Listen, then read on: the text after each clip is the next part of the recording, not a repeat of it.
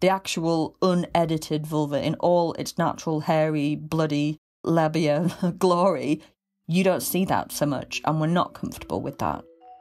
In Scotland, and in Glasgow in particular, the word cunt is actually just an everyday all purpose noun. If it wasn't that the womb was wandering around the body, there was this idea that there were instead toxic vapors that would wander around the body instead. So the womb was releasing these unpleasant substances that would impact different organs. The root of the belief is that there's some kind of dirt or toxin or some foreign harmful substance that needs to be removed. The vagina is a self cleaning oven, and there's absolutely no internal cleaning that is required. I spend an inordinate amount of my professional life thinking about a very simple question, which is Am I my body, or do I have a body?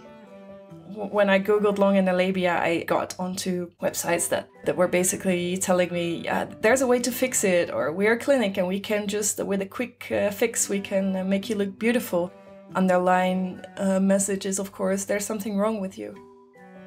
But in the 19th century, there's a real sense looking at these photographs that they're not quite sure what sexy is just yet.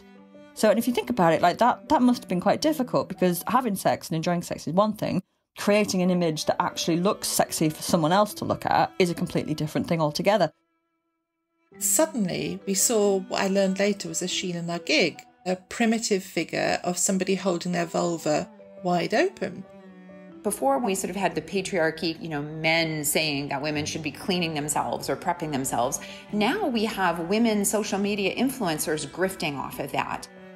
The shame is deeply ingrained and I feel that right now we are living in a time where people are waking up and realizing no, it's time for a change. And this is how we make a change just by doing it. You're listening to the Vagina Museum podcast, a production of the Vagina Museum. I'm your host, Alyssa Chafee. Yes, you heard right, there's a Vagina Museum. The Vagina Museum is the world's first bricks and mortar museum dedicated to vaginas, vulvas, and the gynecological anatomy. You can find us in London's Camden Market. What's the Vagina Museum all about, you ask?